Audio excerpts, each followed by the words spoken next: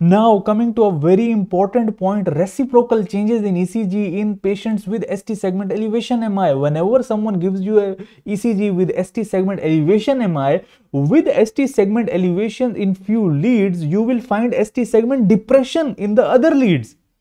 Now in ECG, where you are finding ST segment elevations with ST segment depressions, these ST segment depressions are basically reciprocal changes they do not indicate that there is subendocardial ischemia going on in the heart with this transmural ischemia. No, it does not indicate that.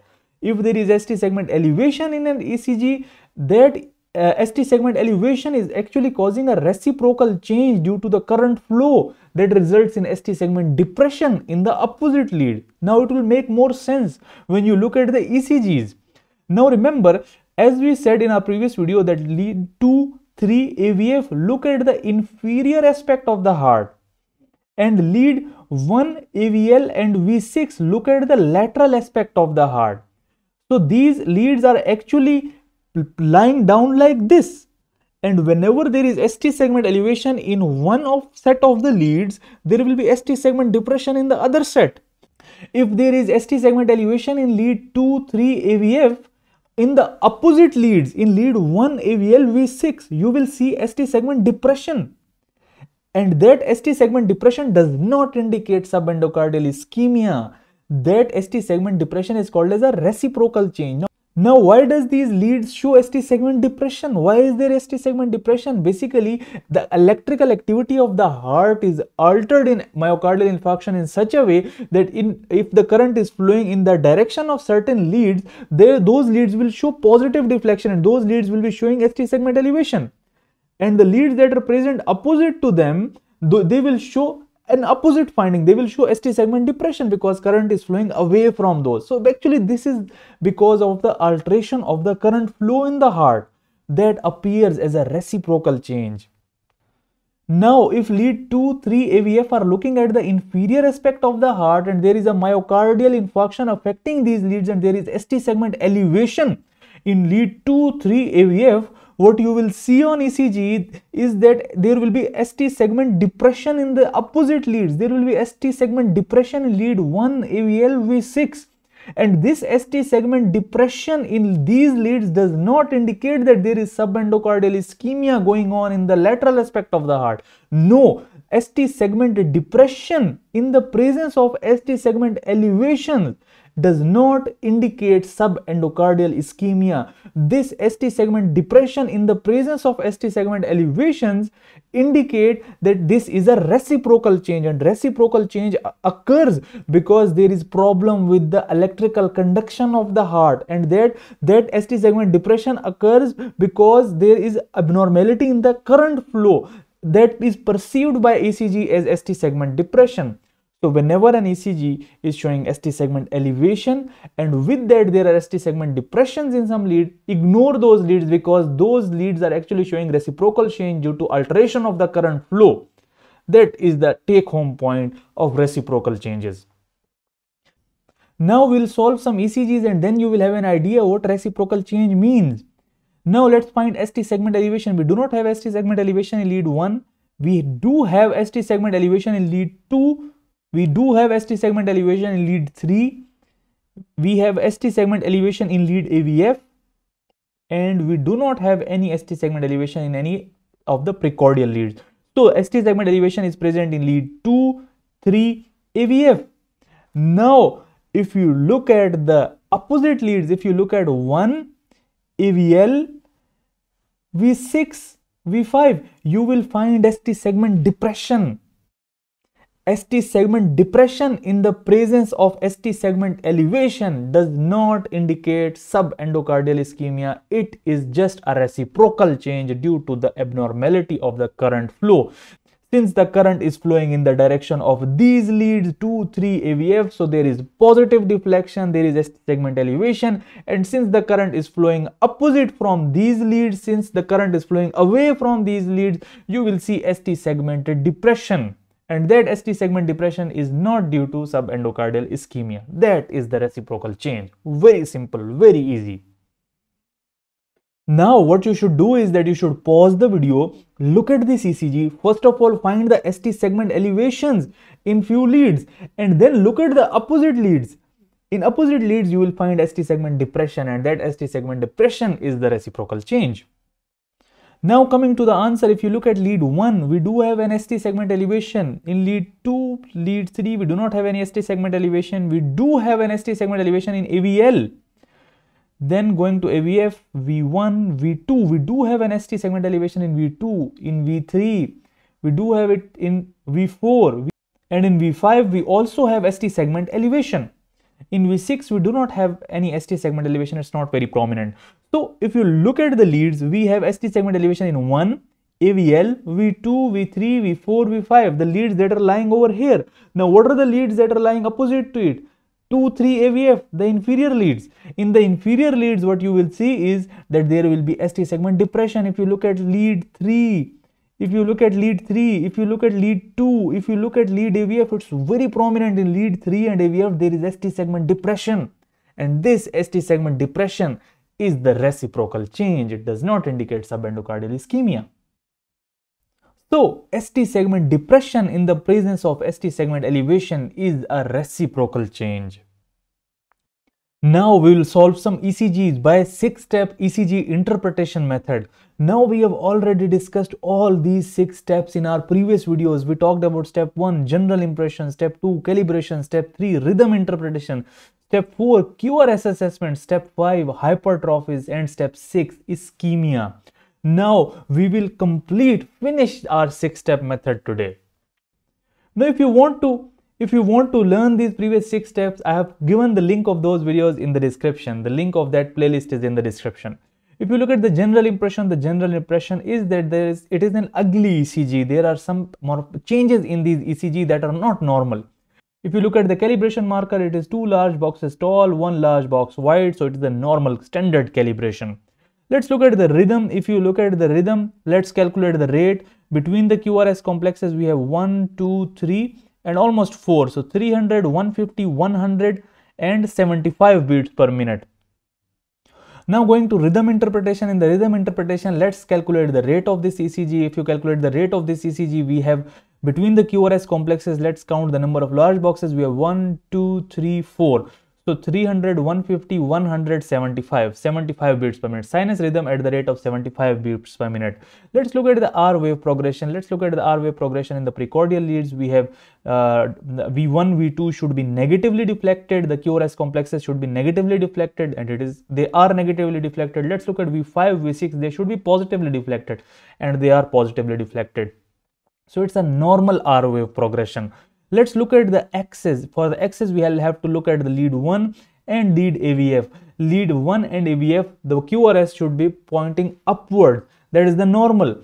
Now the QRS is pointing upward in lead 1. It is also pointing upward in lead AVF. So it is a normal axis. Let's look for the bundle branch blocks. Let's look for the M wave in V1, V2, V5, V6. We do not have any M wave. So bundle branch blocks are absent.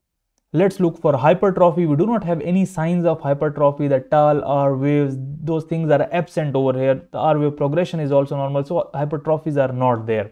Let's look for ischemia. There are ischemic changes. Let's first find ST segment elevations, then we'll find the reciprocal ST segment depressions, and then we'll find the Q waves. If you look at lead 1, we have ST segment elevation. We have ST segment elevation in lead AVL.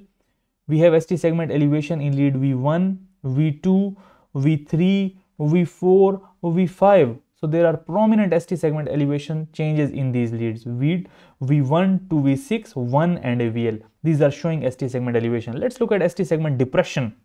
Now since these are the lateral leads, you should go for ST segment depression in the inferior leads. Lead 2, 3 AVF should be having ST segment depression and they are showing ST segment depression. So lead 2, 3 AVF is showing ST segment de uh, depression. Let's look for the Q wave. The Q wave is absent over here. The Q wave is prominent in V1 and V2. That is the pathological Q wave that is that shows uh, infarcted tissue in the heart. So Q wave is present in V1, V2. Now let's complete the rhythm interpretation. It is basically a sinus rhythm at the rate of 75 beats per minute. Anteroseptal lateral wall MI with reciprocal changes in the inferior leads and pathological Q waves in V1 and V2. Now this is the beauty of the six step method where you can never miss out a single thing when you go in this systemic manner when you follow the six steps properly you will never miss out a single finding in an ECG. Now coming to the second ECG now what you should do is that you should pause the video and try to solve this ECG yourself. Till the time you don't solve these ECGs yourself, you won't learn anything. Take a piece of paper, solve these ECGs, make the wrong answers, but try to learn these ECGs by six-step method. Now let's solve this ECG. What's the general impression? The general impression is that it is an ugly rhythm. Let's look at the calibration. The calibration marker has been cut off, uh, but we'll say that it is a standard calibration marker, two large boxes tall and one large box wide. Now let's calculate the rate. We have between the RR interval, we have 1, 2, 3 and almost 4 large boxes. So 300, 150, 175 sinus rhythm at the rate of 75 beats per minute.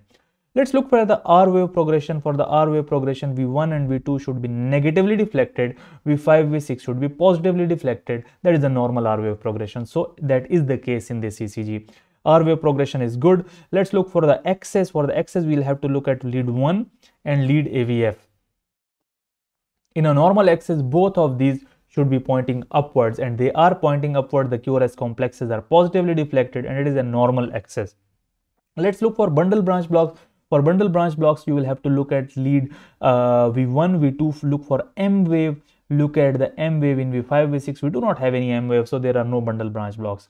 Let's look at the P waves for hypertrophy, atrial hypertrophy. The P waves look normal. They are small, symmetric. They are not tall. If they were tall, we would have called it a right ventricular hypertrophy. If they were notched or humped, we would have called it a left ventricular hypertrophy, but that is not the case. Now let's look for the uh, hypertrophy in the ventricles.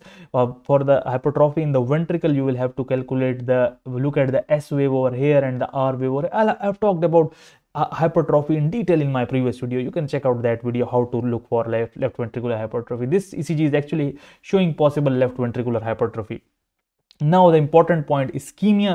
In the ischemia let's look for st segment elevations. In the st segment elevations we have st segment elevation in lead 2 lead 3 and lead avf is showing st segment elevation. We do not have st segment elevation. We have some st segment elevation in v4 V5 and V6. So these leads are also showing ST segment elevation. So we have ST segment elevation in lead 2, 3 AVF, V5, V6.